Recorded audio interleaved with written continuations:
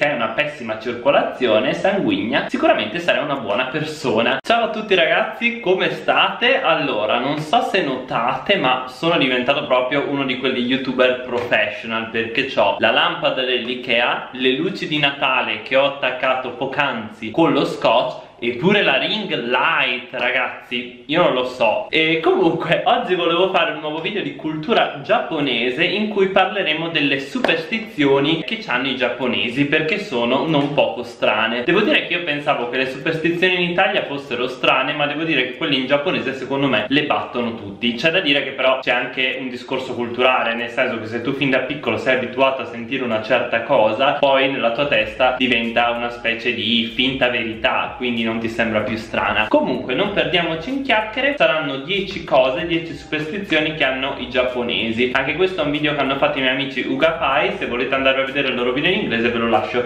in descrizione. Vabbè ragazzi comunque in questo video vi darò la mia opinione su queste 10 superstizioni e vediamo insieme quali sono. Allora iniziamo dalla numero 10 allora la 10 è abbastanza divertente e a me capita spesso di singhiozzare. Ogni volta che mangio gli onigiri che sono quei triangolini di riso. Spesso se lo mangi magari mentre cammini cosa che non bisogna fare però sai se sei un po' di fretta magari e non sei proprio in centro Tokyo eh, lo puoi anche fare. E comunque se ti capita di singhiozzare i giapponesi credono che se fai 100 singhiozzi uno dietro l'altro morirai. E muori muori e, è una cosa veramente stramba perché io penso di averne già fatti più di 100 di fila a dirvi la verità. Quindi per fortuna sono ancora qui con voi a fare i video con dietro le costellazioni. E niente e mi ha detto anche questo mio amico che praticamente a scuola se magari capitava che uno degli studenti singhiozzasse per tot minuti poi tutti gli studenti si radunavano intorno a lui e iniziavano a contare 25, 26, 27 per vedere che non arrivasse al fatidico 100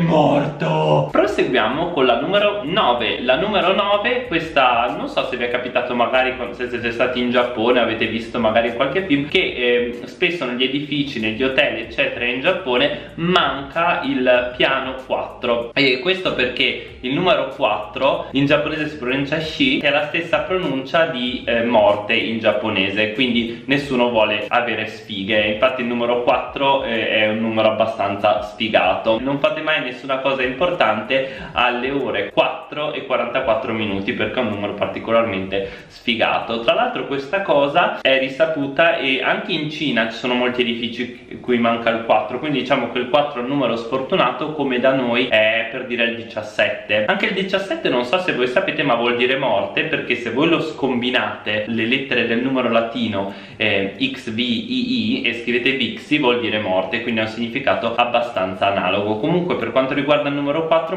molte aziende non vogliono avere il loro ufficio al quarto piano perché hanno paura di andare in bancarotta e molte persone sono molto superstiziose e non vogliono affittare un appartamento che sia il numero 4 o anche magari la stanza 104 per dire può mancare in alcuni posti. Andiamo avanti con la numero 8 allora la numero 8 questa non so se vi è mai capitato di vedere che spesso accanto a molti ristoranti c'è eh, del sale. Questo perché eh, il sale si dice che scaccia caccia i demoni quindi è per non far entrare i demoni in questo ristorante. Tra l'altro se pensano che siete dei demoni ve lo possono anche lanciare addosso. E no oddio non mi è mai successo però ma non c'è anche da noi che si dice che buttare il sale dietro la schiena porti bene o fare i cerchi di sale. Non lo so se è una cosa che ho sentito o se l'ho vista magari in Streghe che era un vecchissimo telefilm che non so se conoscete. Vabbè in ogni caso il sale scaccia i demoni. Un po' come l'aglio scaccia i vampiri risaputo. Andiamo avanti con la numero 6 La numero 6, questa anche porta molta sfortuna per i giapponesi Che è quando ti si rompe un sandalo. Se ti si rompe un sandalo, un po' come da noi Quando ti si rompe uno specchio Ti porterà della sfortuna. Non solo il sandalo, ma anche i pettini. Anche i pettini per i capelli, quelli fini. Se magari perdete un dente vi si stacca un dente Vuol dire che vi porterà molta sfortuna. Quindi state molto attenti a non perdere un dente del pettine. Andiamo avanti con la numero 6 Questa davvero tutti i giapponesi ci credono o almeno tutti i miei amici giapponesi ci credono questa è veramente importante che è tagliarsi le unghie di notte. Tagliarsi le unghie di notte porta sfortuna perché si dice che non vedrai la morte dei tuoi genitori quindi non potrai salutare i tuoi eh, genitori o comunque potresti finire per morire prima dei tuoi genitori. Quindi diciamo che è una cosa molto triste e molti giapponesi ci credono. Questa davvero in particolare l'ho sentita da subito appena arrivato in Giappone che è una cosa un po' strana. Cioè per me perché io di solito mi faccio sempre le unghie la sera quindi the non lo so eh, speriamo che non sia una superstizione concreta cioè una superstizione che si trasformi in realtà perché sarebbe bruttissimo. Andiamo avanti con la numero 5 in quinta posizione qua siamo saliti nella top 5 questa è abbastanza divertente anche questa mi è capitata che mi è stata detta fischiare magari mentre cammini di notte si dice che attiri i mostri. Questa me l'ha detta anche Sassori tra l'altro oppure si dice anche che ti entrerà un serpente in casa. Si dice che questa credenza sia nata perché spesso quando c'erano i ladri in Giappone già nei tempi antichi uno rimaneva fuori faceva da palo e fischiettava quindi se fischiettavi voleva dire che andava tutto bene e allora l'altro poteva,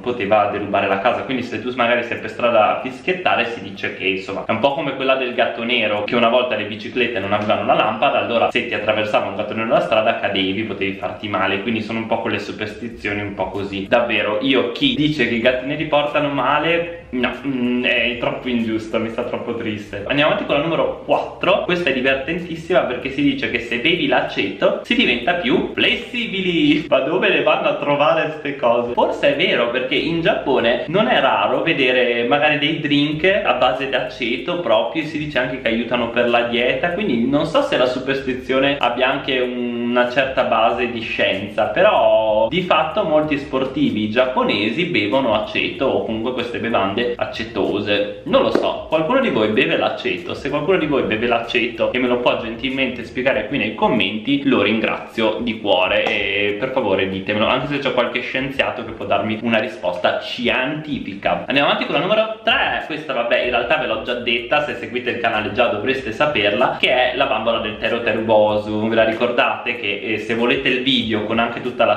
spiegone eccetera andate qui che potete vedere tutta la spiegazione di eh, come è nata questa bambola e tutte le leggende che ci sono dietro. Ve lo consiglio è un video bellino che avevo fatto appena avevo iniziato il canale. Mannaggia devo ancora fare il video dove faccio la bambola del Tero Terubosu la voglio fare dai magari se vi interessa che faccio la bambola del Tero Terubosu scrivetemelo qua e un giorno mi trovo con un mio amico giapponese e la faccio. Comunque per chi non sapesse che cos'è il Tero Terubosu anche se sicuramente in qualche anime l'avete vista è questa specie di bambola che sembra un fantasmino con la testa tonda che si appende praticamente davanti alle finestre per far sì che smetta di piovere o per evitare che piova il giorno dopo. Spesso magari la usano magari dei bambini il giorno prima che magari vanno che ne so al parco dei divertimenti o il giorno prima della giornata dello sport per evitare che faccia brutto tempo. Si dice che tra l'altro se lo appendi a testa in giù o se lo fai nero porti invece pioggia non so questo ho trovato delle cose così nel dark del web. E in ogni caso questa è una tradizione che si fa anche a scuola anche le maestre insegnano ai bambini magari o dell'asilo o delle elementari a fare questo teru teruboso tutti assieme. È troppo carina quella bambola. Arriviamo al secondo posto. Questa è una cosa che dico spesso anch'io perché io ho sempre le mani freddissime. Però eh, avere le mani freddissime in Giappone vuol dire che hai il cuore caldo e viceversa. Se hai il cuore freddo sei una persona meschina e malvagia avrai le mani molto calde. Parafrasando vuol dire che se hai una pessima circolazione sanguigna sicuramente sarai una buona persona. Scrivetemi qui nei commenti chi di voi è una buona persona e chi di voi invece ha le mani calde vabbè concludiamo in bellezza con la numero 1 questa è veramente strana però vi assicuro che è vera. In Giappone si dice che se rimuovi il seme di sesamo dal tuo ombelico eh, avrai mal di pancia. Cioè non chiedetemi No, non fatevi cadere le luci. Non chiedetemi perché i giapponesi credono che si abbia nell'ombelico un, un, seme Però, ehm, boh, alcune domande non hanno una risposta certa. Vabbè ragazzi, io spero che questo video vi sia piaciuto. Ditemi quali di queste 10 superstizioni vi ha stupito di più e quale conoscevate. Ditemi se volete che faccio altri video così adesso con la ring light Luce. Di cultura giapponese che li farò. E noi ci vediamo al prossimo video video. Un abbraccione da Seba. E mi raccomando iscrivetevi anche al mio altro canale che è il canale di Seba Katsu che è quello dove parlo magari faccio recensioni di film un po' trash giapponese o youtuber altrettanto trash in Giappone e poi quello di musica in cui canto perché per chi non lo sapesse io adoro cantare e mi piace molto fare le canzoni. We are the fire